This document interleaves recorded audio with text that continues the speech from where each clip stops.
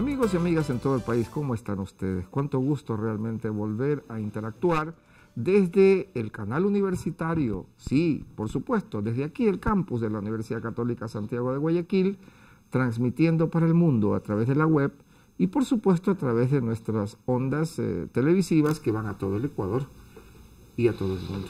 Repito, hoy eh, tengo como invitada en el programa a Andrea Hernández López.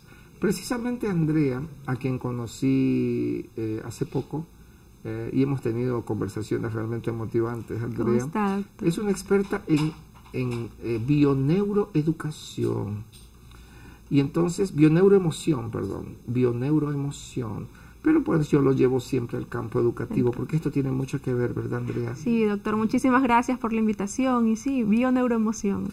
Bioneuroemoción. Bueno, desde mi óptica, mi querida Andrea, esto es fundamental, sobre todo tratándose ahora de los avances que en neurociencias vienen dándose, ¿verdad? Las emociones son fundamentales para el desarrollo de la inteligencia. Claro que sí. Nos enfocamos sobre todo en el estudio de cómo las emociones llegan inclusive a impactar tanto en nuestro ADN que pueden haber modificaciones, y es el estudio de la epigenética conductual. Quiere decir que como nuestro entorno, nuestras vivencias, situaciones conflictivas, situaciones estresantes, hacen que en nuestro ADN inclusive se activen enfermedades que pueden estar pasivas o síntomas conductuales, por ejemplo. Oh, excelente. O sea, su primer aporte en el programa es demoledor, es increíble. ¿Por qué? Para mis amigos y amigas que están escuchándome en todas partes del mundo, recomiendo varios libros. Voy a comenzar recomendando eh, Supergenes y Supercerebro de Deepak Chopra y de eh, este, el doctor Tansi. Eh, ¿Por qué estos libros? El doctor Tansi es decano de, de, eh, medicina de la Universidad de Harvard y el doctor Chopra es un famosísimo médico experto en salud. como se dice, en medicina ayurvédica y también en medicina mente-cuerpo. Muy bien, entonces las emociones tienen muchísimo que ver. ¿Qué pasa cuando nuestros niños, mi querida Andrea, eh, son niños eh, estresados, son niños eh, maltratados? Claro. Primero, decirle un poco que antes lo de las emociones quedaba como que para el ámbito holístico, uno escuchaba hablar de las emociones y se imaginaba a alguien meditando, los sabios, pero realmente ya la ciencia respalda que efectivamente todo lo que sucede fuera de nuestra biología nos afecta. Sí. En los niños estresados, los niños son seres que vienen con una capacidad intacta de hacer un lenguaje del estado emocional de los padres, pero sobre todo de mamá los primeros años de vida. Alrededor de hasta los cinco años, todo lo que le suceda a un niño sea físicamente, emocionalmente, que lo manifieste a través de un comportamiento para los adultos de pronto errado, está manifestándonos todas las vivencias de mamá, pero sobre todo lo que mamá calla, esos miedos, esas preocupaciones, es que las madres estamos llenas de temores que no tenemos ni siquiera la capacidad de ponerle un nombre. Usted ve a las mujeres todas imponentes y a los hijos súper estrictos. Y yo he tenido madres que dicen es que yo soy un Hitler con mis hijos. Aquí a las 8 de la noche se apaga la luz y todo el mundo se duerme, no sé cómo, pero que se duerman. Pero eso, lo que está escondiendo realmente es un temor. Es un miedo, es un inclusive miedo hasta fracasar, a no estarlo haciendo bien. Pero como no sabemos manifestar eso, ponemos como una postura y eso siente nuestro hijo. Claro que nuestro hijo siente esa inseguridad. Claro que siente ese temor o esa tristeza o ese problema que no, no puedo resolver. Todo eso mi hijo lo va a manifestar con su comportamiento, como usted me indica, un niño estresado, ¿no? Sí, un niño. Ahora estamos viviendo todo esto que los psicólogos llaman hogares disfuncionales, y que en muchos casos las madres están solas, ¿verdad? y, o están los niños en manos de otras personas que no son sus padres, llámese abuelos, llámese tíos, hermanos mayores. ¿Realmente es posible reemplazar a la madre? Que yo pienso que esto de hogares disfuncionales, no. Un niño lo que necesita es una madre amorosa, integra, integrada a ellos, presente emocionalmente. ¿Por qué? Porque el niño, sobre todo el pequeño, la imagen que va a tener de papá o del entorno es la que mamá le transmita. Porque si el papá está presente en casa, pero si mamá le dice a tu papá no le importamos, O tu papá prefiere todo el tiempo estar en la oficina que venir a compartir contigo. ¿Qué es lo único que entiende el niño? Mi papá no me quiere. Y puede ser que el padre, aunque sea que llegue de noche, es el único que le da 10 minutos de atención real a su hijo, que le pregunta cómo le fue, que le cuenta un cuento, que lo acompaña si le da miedo de pronto la oscuridad en la casa en la noche. Pero las madres estamos tan sumergidas en nuestro, propio, dolor, que no podemos estar el día entero en casa o estamos en el celular o estamos ocupadas todo el tiempo en los quehaceres y no tenemos la capacidad de sentarnos 10 minutos a jugar un juego real o compartir con los chicos. que sientan nuestra presencia. Percibo entonces que los niños son parte de la curación de esa madre sufrida, también angustiada. Una vez leí que me gustó mucho que decía que las madres somos unos seres humanos tan elevados espiritualmente que podemos vernos desdoblada en nuestros hijos. Es que si prestáramos atención, las mujeres podríamos observar cómo si tenemos un día terrible, estresado, nos va mal en, en, el trabajo, en la oficina, peleamos con nuestra pareja y de noche el niño o está con fiebre o me mandaron una nota de la escuela o se portó terrible ese día. ¿Por qué? Porque él está entendiendo algo pasa. O me van a decir que una mujer que no esté equilibrada emocionalmente, lo único que le puede dar a ese niño es transmitirle el desequilibrio. Sí. ¿Y qué pasa? Que somos explosivas. Es como que el niño viene con una necesidad, una tensión, y es como que un archivo se salta y lo primero que hacemos es poner una distancia o pegarle un grito. Es, yo estos días sobre todo me he enfocado mucho en observar a mi entorno. Es que no hay que ser un observador estudiado de la parte emocional. Yo les pido a las mamitas que observen a la salida de una escuela, cinco minutos no hay esa capacidad de recibir a tu hijo, aunque sea con una palabra de afecto. Correcto. Sí, y eso se transmite, ¿no? Se transmite y cala hondo. Bueno, vamos a hacer un corte, mi querida Andrea. En televisión se sabe que es complicado el tiempo. Amigos y amigas, hacemos un corte para seguir con esta interesantísima conversación con Andrea Hernández López, experta en bioneuroemoción, para tratar los temas que usted quiere escuchar. Ya regresamos.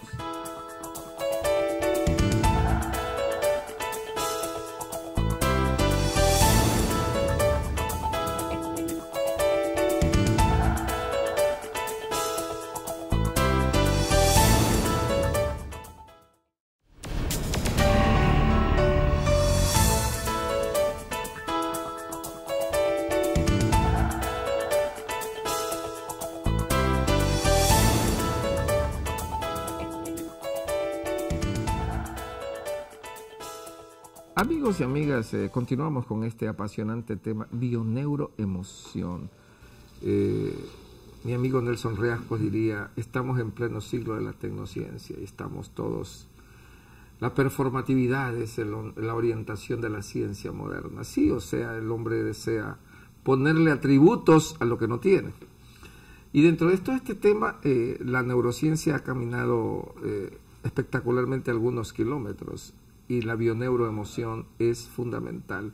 ¿Qué tan fundamental es que esto se trabaje con profesores y con padres de familia de las escuelas? Imagínese si en casa mamá con uno o dos niños no tiene la capacidad de entender lo que su hijo le está diciendo a través del comportamiento.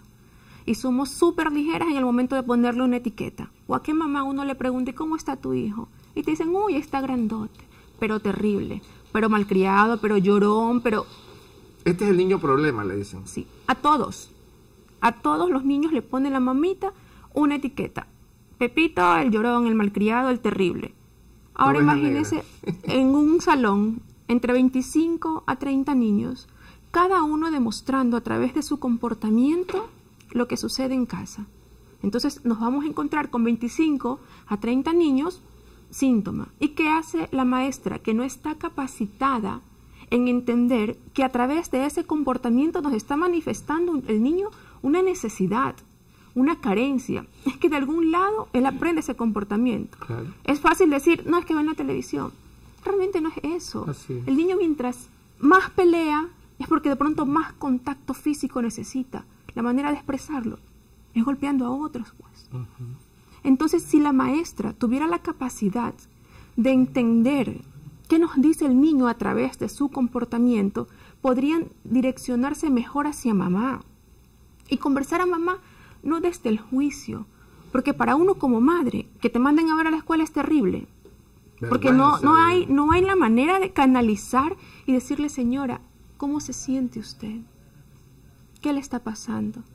Es fácil mandarte a ver eh, el representante. Sí, porque eh, tal vez una gran falla, Andrea, no sé si usted lo comparte, es que las escuelas mandan a ver al representante para hablarle muy mal del niño o de la niña y qué cosas el niño está haciendo y de repente como, pero nadie habla, señora, usted, ¿cómo está? Exacto. ¿Verdad? Hay madres, yo pienso que necesitan una palabra de acogida, con que te pregunten realmente cómo te sientes qué le está pasando a usted, pero como persona. Porque en la escuela enseguida es el juicio. De pronto en su casa hay mucha violencia, no necesariamente. Más violencia es callarte esos sentimientos que, necesitas de alguna otra manera canalizarlos. ¿Y el rol del papá? El rol del papá.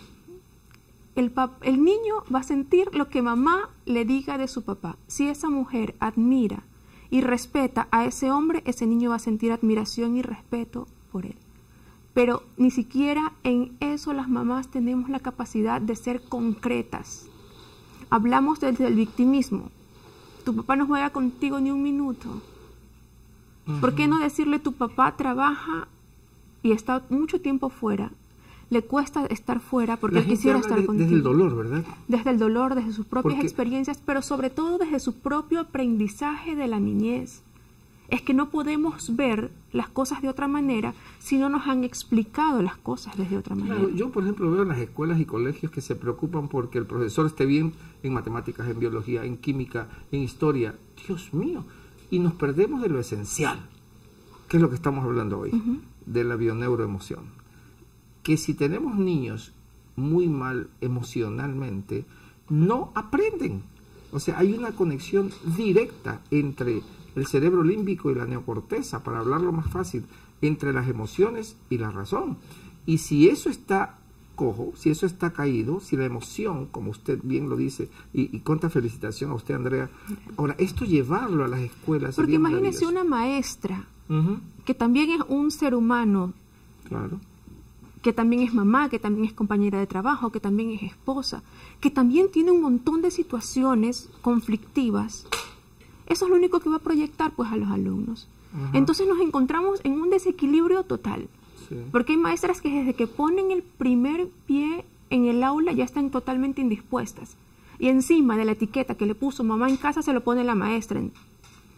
Y ya se verán entre el psicólogo, la maestra, los coordinadores, los padres, en reunión, todo el mundo tratando la problemática del niño. Del niño pero, más bien las respuestas están en el niño. Así es. Las respuestas. Ver qué nos dice a través de eso. O sea, ya hay que dar el siguiente paso. ¿Por qué? Porque el niño que entiende, ah, mientras peor me porte, todo el mundo me va a observar, pues. Y puede manipular. exacto. Por eso es que el niño que se comporta mal es el que se va a comportar mal todo el año. Cuando ven un progreso es que no lo ven porque no se está tratando la raíz. Estamos tratando la problemática. Que siempre será el adulto, en el fondo, porque es el que educa, ¿no? Pero ese niño ya mismo es un adolescente. Pues. ¿Y qué va haciendo? Va puliendo. ¿Por qué? Porque esto es un mecanismo para él para obtener atención.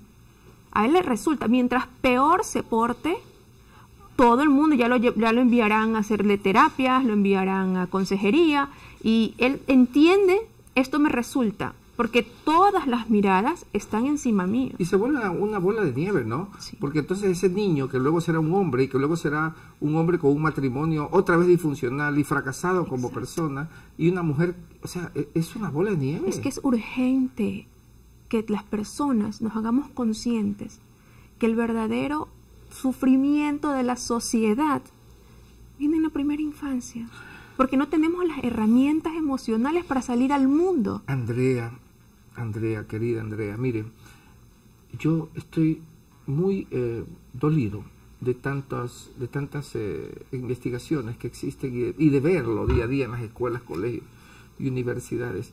No es posible que sigamos diciendo que los niños son prioridad y los tratemos como la última rueda del coche. Porque no puede ser que pensemos que los niños van a estar bien porque les tengamos un colegio de 7 millones de dólares, puro cemento, cuando están sin nada en su barriguita porque no han comido. No puede ser que pensemos que esa es la solución, la infraestructura, cuando realmente falta amor en la casa. Los niños piden a gritos un buen trato. Es que el niño necesita, debe y merece ser tratado bien y no está siendo tratado bien. Es que si no, no hay futuro. Ese niño va a ser luego el adolescente y luego el hombre o la mujer. Es que no, eh, solo hace falta enfocarnos. Hace una semana estuve en un restaurante donde hay juegos de niños. Un papá le metió dos cachetadas a un niño que no tenía ni cinco años y lo manoteaba en las manos. O sea, ¿a dónde hemos llegado? no estamos hablando ni siquiera de abismos socioeconómicos, no. En todos lados. Sí. O sea, lo, saludan, ¿a qué fue? Y mire que... Somos más fácil entre los adultos tratarte con cordialidad y decir cuánto quieres a una amiga. Entre adultos. Y a tu hijo no tienes la capacidad, aunque sea de motivarlo. Es que yo veo a las madres como hacen fila esperando hablar con la maestra para decirle lo terrible y lo vago que es el hijo. ¿Cuándo van y le dicen mi hijo es excelente? De pronto no sean buenos en todas las materias, pero hay que destacar que para algo todos nacimos buenos para algo. Y ni eso vemos. Yo concuerdo de que necesitamos a gritos, amigos y amigas que me están escuchando en el Ecuador, me están viendo en el Ecuador, necesitamos este tipo de cosas en los colegios, a las autoridades. Ya va para ellos también en el siguiente segmento que vamos a un corte y regresamos con más de este apasionante tema con Andrea Hernández y Neuro, Neuro, eh, Bioneuro Emoción. Ya regresamos.